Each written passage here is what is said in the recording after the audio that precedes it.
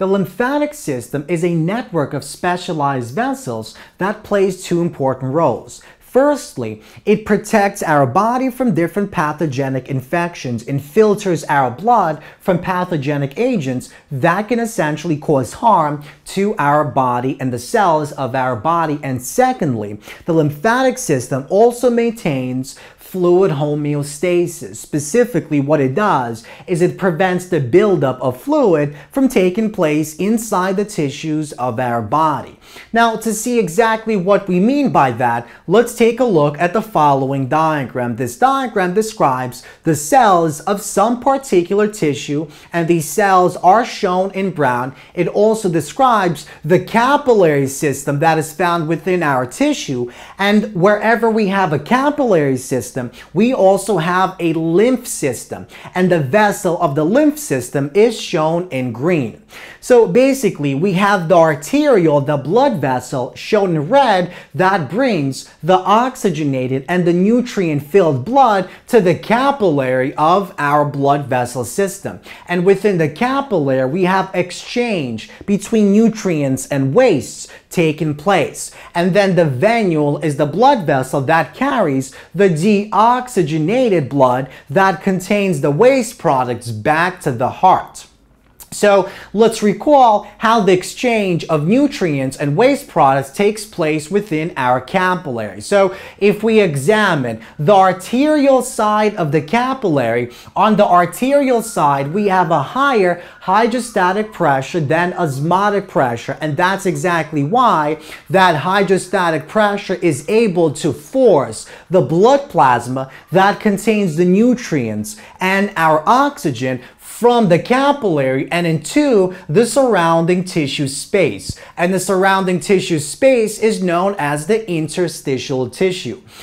So what happens is when the blood plasma leaves the capillaries and enters this cell tissue area, that brings the nutrients such as glucose and fats and amino acids and oxygen to the cells of that surrounding tissue. And at the same time, as that fluid travels along the tissue space, along the interstitial tissue, it picks up those waste products that are secreted by the cells, such as carbon dioxide dioxide and ammonia. And once the fluid is on the venule side, on this side of the capillary, because the osmotic pressure is now greater than the hydrostatic pressure, the blood rushes back into the capillary of our body. And now the deoxygenated blood that contains the waste products travels along the venule, then into the veins, and finally into the heart of our body.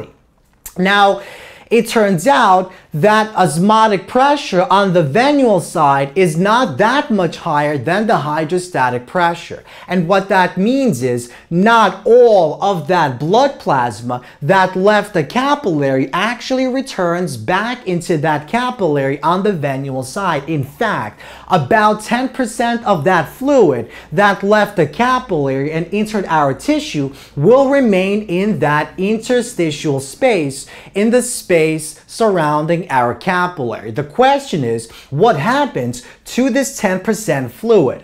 If this 10% fluid is not removed in any way, there will be a buildup of pressure as a result of the buildup of fluid inside that tissue and that will lead to swelling, the process of edema, and that can lead to very serious medical conditions and medical complications. So to prevent from this, uh, to prevent this from happening, what our body does, and specifically what the lymphatic system does, is it drains and removes that fluid into the system of vessels uh, we call lymph vessels or lymphatic vessels. These lymph vessels essentially connect with larger lymph vessels known as lymph veins and along the lymph vessels we have these regions known as lymph nodes and we'll talk about them in just a moment and these lymph nodes essentially filter our lymph from different types of pathogenic agents and eventually that lymph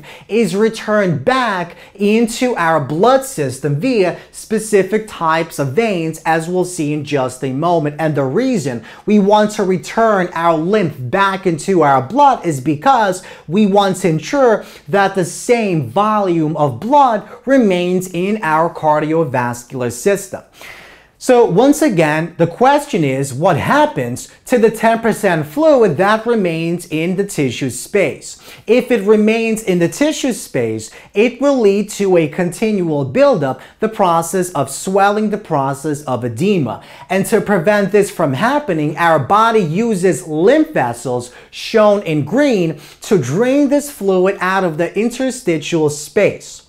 Now, the fluid, which is now known as lymph, travels along these venules, along, along these vessels, and eventually connects with these larger vessels we call lymph veins. And eventually the lymph veins reconnect with the blood vessels and the fluid is returned back into our blood circulation through the thoracic duct and the right lymphatic duct that both contains, uh, that both connects with special types of veins. So to see what we mean, let's take a look at the following diagram. So we have two important types of ducts, the thoracic duct as well as our right lymphatic duct.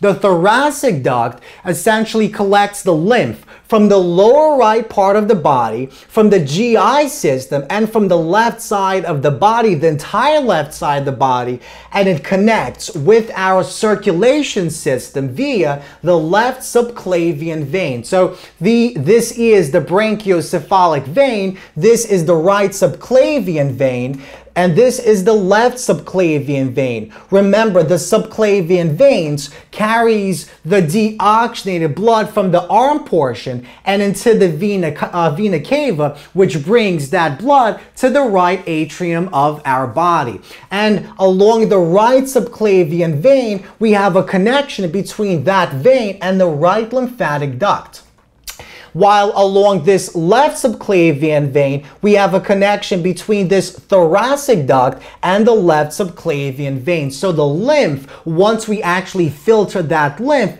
it returns back into the vein system of our body and back into the cardiovascular system. So we see that the right, uh, the right lymphatic duct collects the lymph from the right side of the head, the neck, and the chest and empties into the right subclavian vein. Now, previously we mentioned that one of the other functions of the lymphatic system is to filter our blood, to filter our lymph that travels along these lymph vessels. And this filtering process takes place in lymph nodes. So along many parts of our lymphatic system are small masses of tissue called lymph nodes. So this is one lymph node, a second lymph node, a third lymph node, and we have many of these lymph nodes along different regions of our body. Now, within these lymph nodes, we have cavities, we have sinuses, and within these cavities, we have specialized types of leukocytes, white blood cells. Now, when dendritic cells found in the tissue pick up pathogenic antigens, they carry these pathogenic antigens into our lymph nodes. And inside the lymph nodes, we have plasma cells that produce antibodies against these antigens. And these antibodies basically leave the lymph nodes along the other side and eventually they are dumped into our vein system. And that's how antibodies end up in the cardiovascular system, in the blood vessels of our body. Now, Within these lymph nodes, we also have other white blood cells, such as macrophages, that can engulf any type of pathogenic agent that might be present inside our lymph system. And in this manner, our lymphatic system not only drains our tissue and prevents the buildup of fluid inside the tissue, but it also filters our blood. It basically eats up and digests different types of pathogens that are found inside our blood, inside these specialized masses of tissue we call lymph nodes. Now, the final portion that I'd like to focus on is how that fluid actually gets into these lymph vessels in the first place and how the lymph travels along our lymph vessels. So let's take a look at the following diagram. So this is a small portion of our lymph vessel. Now notice along the lymph vessel we have these endothelial cells. So the walls of the lymph vessels consist of endothelial cells that overlap slightly. And at the portions where they overlap, these overlapping portions act as one-way doors. And when there's and when there is a fluid buildup inside the tissue, that fluid pressure pushes on these overlapping sections, these one-way doors, and that opens these endothelial cells and allows fluid to actually flow into the endothelial cells. So for example, let's imagine that we have a buildup of pressure here, and so the fluid pushes against the overlapping portion, and the fluid moves into this cavity, this region of our lymph vessel. Now, as the fluid builds up in the lymph vessel, it pushes back onto the, uh, this side, the other side of our endothelial cell. And because these endothelial cells open only one way and not the other way, when our hydrostatic pressure pushes on our uh, cells this way, the fluid cannot escape back because these overlapping regions between the cells only open this way and not the other way.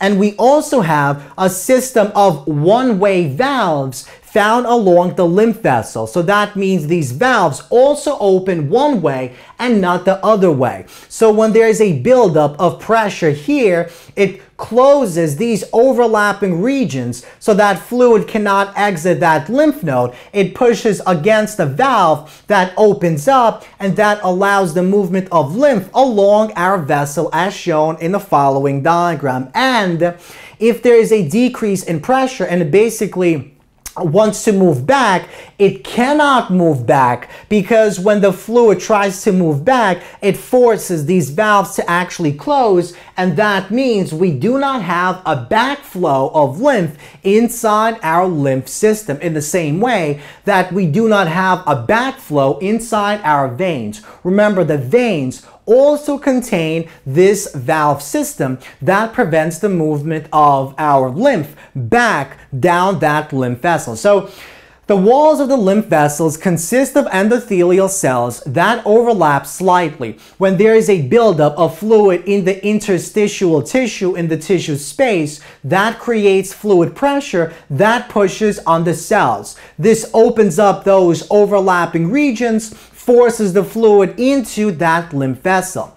Now, inside the lymph vessel, we have a system of one-way valves. These valves, as well as the overlapping portion of the endothelial cells, open only in one direction and not the other. And this keeps the lymph inside that lymph vessel and it keeps it moving along one direction. Now, in the same way that our veins are situated next to our skeletal muscle and the contraction of our skeletal muscle promotes the movement of blood inside the veins, in the same exact way, the contraction of skeletal muscle pushes against our lymph vessels and that promotes the movement of lymph inside our lymphatic system.